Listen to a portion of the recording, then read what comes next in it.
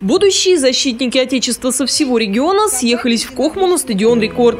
Здесь стартовала ежегодная областная спартакиада до призывной молодежи. Хотелось бы, чтобы вы, выступая на снарядах, которые здесь есть, отрабатывая вопросы тактической, огневой строевой подготовки, показали высокие результаты, показали, на что вы способны. И, соответственно, судьи, и мы посмотрим, готовы вы к службе в армии или нет. Желаю удачи, успехов и победы. На этот раз в честь своих муниципальных образований предстоит защищать девяти командам. Я тут уже второй раз. Вот. В том году заняли первое место, поехали на Россию. Вот, там очень понравилось, хотим еще раз попробовать съездить. В, в том году заняли, вот, летом ездили в Рязань, заняли второе место, защитили Ивановскую область. Вот, хочется еще раз попробовать. Может, еще лучше получится.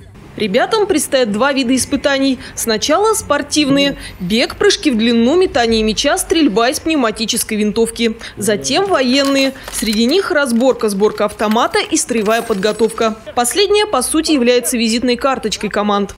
Совершая прыжки самолетов, боевое дежурство несем. И на сложных учениях, и в дальних походах, когда трудно порою поем.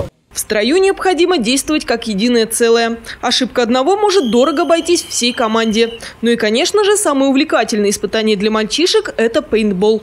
Оно же самое трудное. Наиболее сложное – это пейнтбол, потому что там невозможно подготовиться как-то или выработать тактику. Это очень сложно.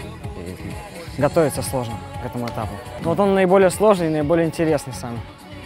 Играть в команде – это всегда интересно.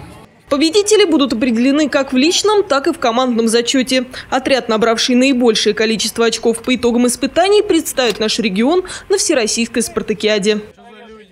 Наталья Романова, Андрей Семиволков, РТВ Иванова.